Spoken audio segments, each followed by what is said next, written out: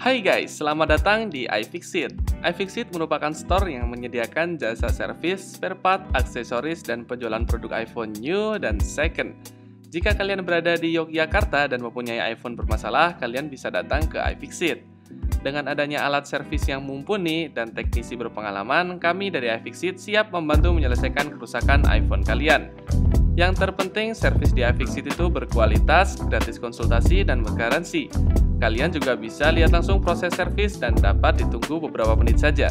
iFixit mempunyai dua store yang terletak di Jalan Babarsari 100D dan Jalan Ambar Binangun, Sonopakis, Yogyakarta. iPhone kalian bermasalah? Ingat, iFixit, we can fix it.